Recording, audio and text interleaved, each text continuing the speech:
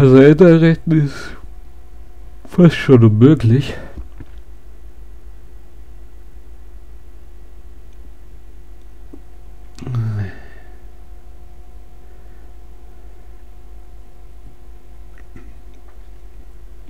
Und ich glaube, die Drachen zu besiegen ist auch schon fast unmöglich.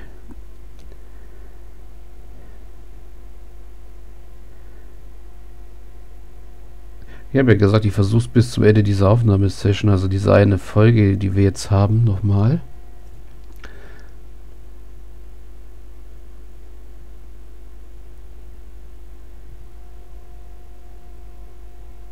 Und dann werden wir ja sehen, wie es klappt.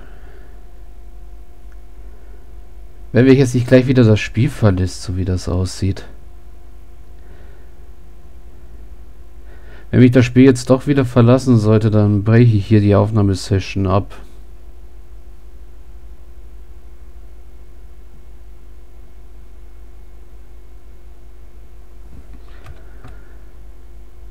Ja, scheinbar verlässt mich das Spiel gerade wieder.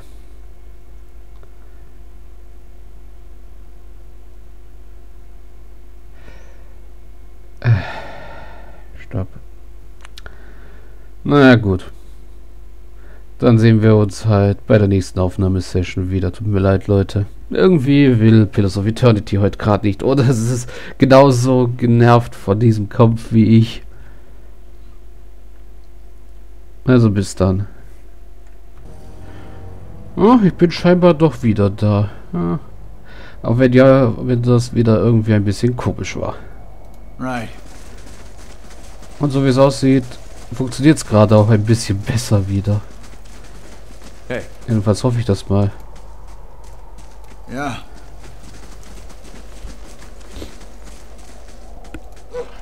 So. Following your lead. Hey. You tarry. Then our So. Und jetzt versuchen wir das ganze Spielchen nochmal. Äh, Alof.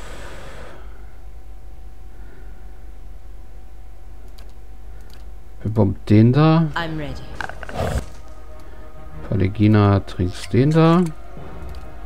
Alof trinkst am besten so einen. Kana trinkst den. Du trinkst den. Und dann geht's los.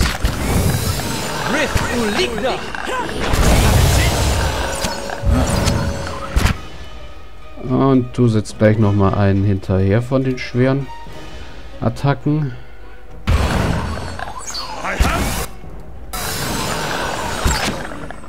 So, Palegina.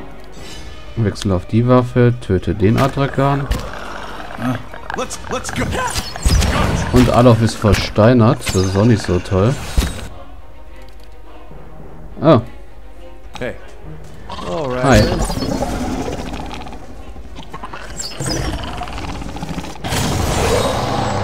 Okay, das hat mich wohl wahrscheinlich meine zweite Chance gekostet.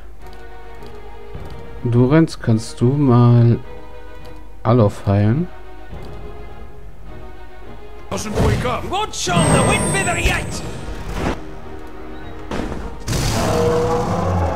Okay, der Windstoß.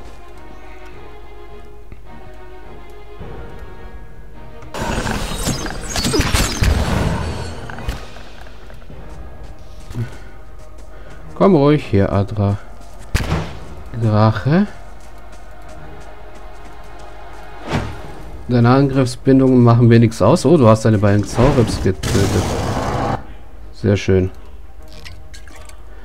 Okay, wie heile ich Durin, äh, Alof am besten? Du nimm wieder deine Waffe und hau das Vieh um. Let's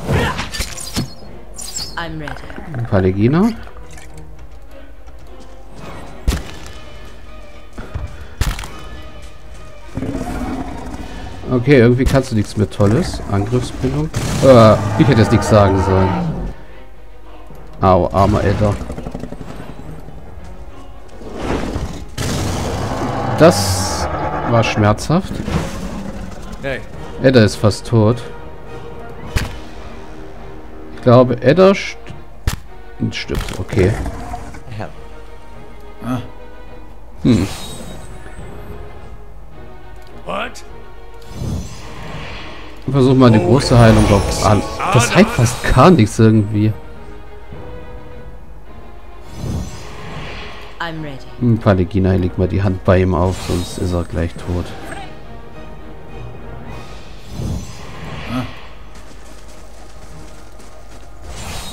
Okay, wenn wir jetzt direkt auf ihn draufhalten, Let's go. dann macht er das und wir sind alle tot. Ähm, What?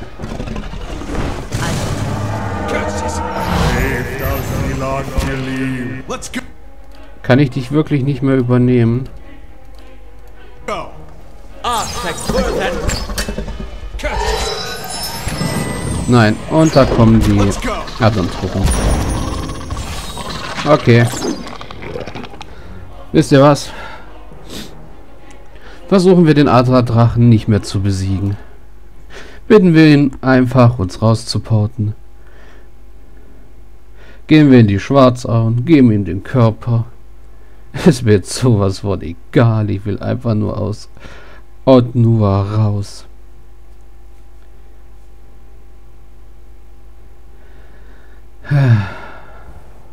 Ja, der Weg nach oben ist lang, der Aufstieg reizt mich nicht. Mach dich auf den Weg, okay. Es gibt nur die Treppe. Es gibt keinen anderen Weg nach oben. Sure. Die Felsen hochklettern. Genau. Toll, das heißt, wir müssen jetzt erstmal eine oder eine Etage nach oben, weil da ist die Haupttreppe.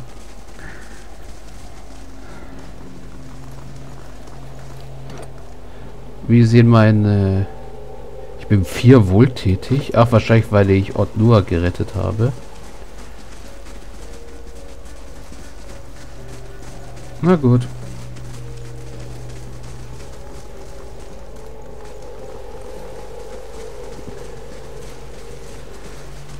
Das wird nachher ein Spaß, das Ganze hier zusammenzuschneiden.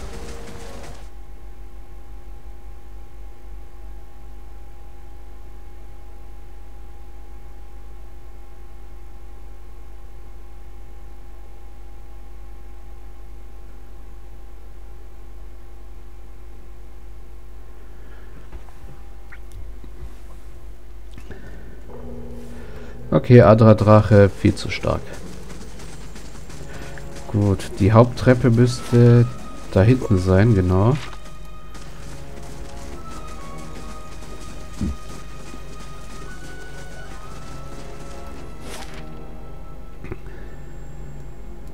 Stufe 1. Wir sind schon mittlerweile hier unten irgendwo auf Stufe 4. Ja. Da ist der versteuerte Ort nur. Stufe 11 war die letzte Haupttreppe. Ah ja. Da guckt, da sehen wir das ganze Bein bis fast zum Fuß runter. Hm? Da ist der Kopf. Und hier oben in Ketnua ragen die Finger raus.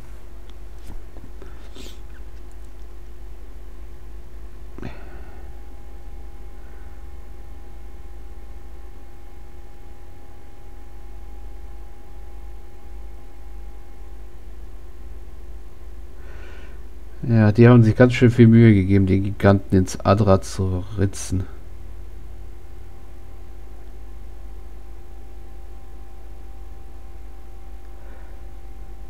Dann werde ich den Adra-Drachen vielleicht in einem meiner privaten Let's Plays mal versuchen zu töten.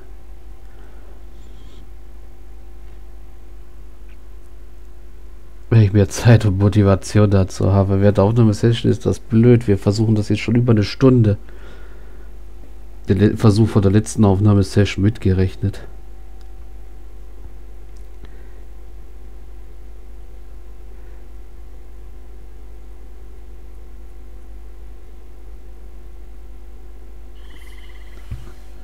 So. Wir sind wieder oben. Wir können weg von hier. Einmal in die Schwarzauen bitte. Tja, das Essen ist jetzt leider futsch.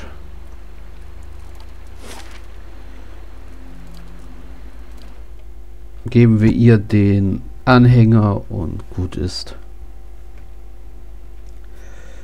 Ach ja, und um den einen Zauber auf Ebene 2, den Vergifteten, will ich mich auch noch kümmern. Ich glaube nicht, dass wir den retten können, aber ich will ihn da nicht ewig im Delirium liegen lassen. Ich werde ihn wohl erlösen.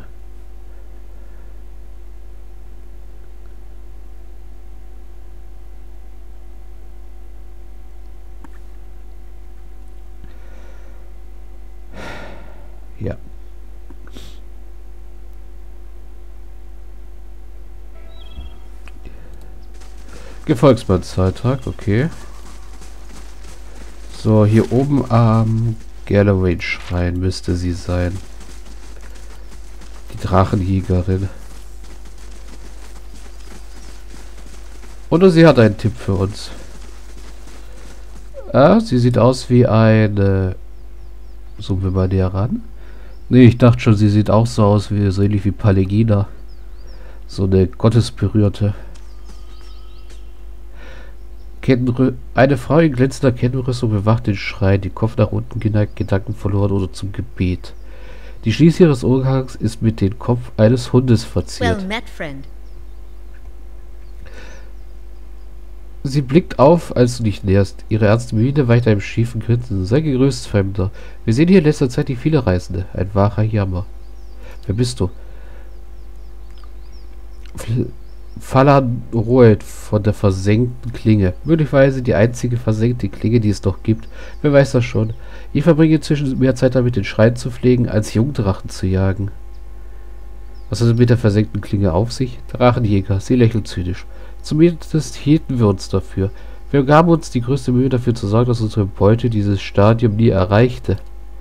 Wir waren von Anfang an ein zusammengewürfelter Haufen.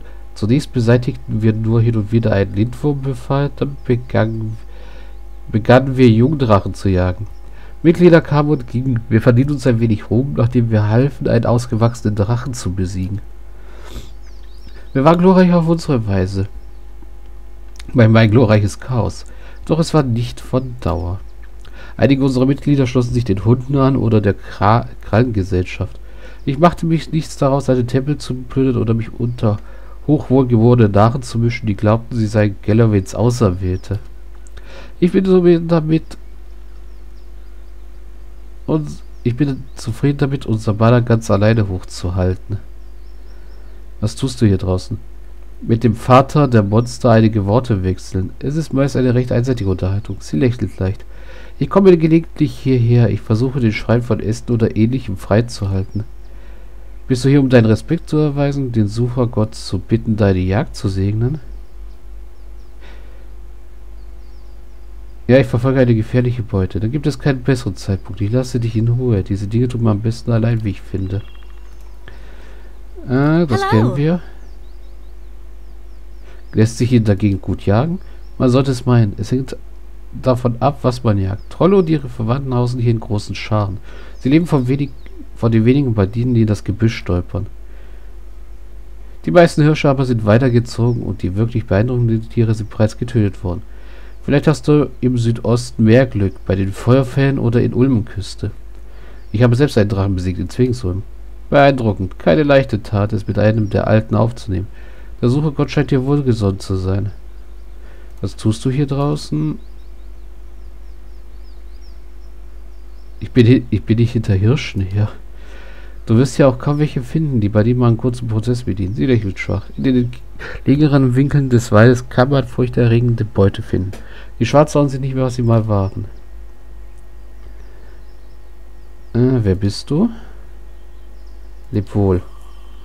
Okay, muss ich sie etwa von selbst angreifen oder was? Äh, Meister der Tiefe. Um die Füße des Redners fand ich den Meister der Tiefe, einen mächtigen uralten Drachen. Lange bevor und nur viel machte sich dieser Drache die große Schlucht zu Hause.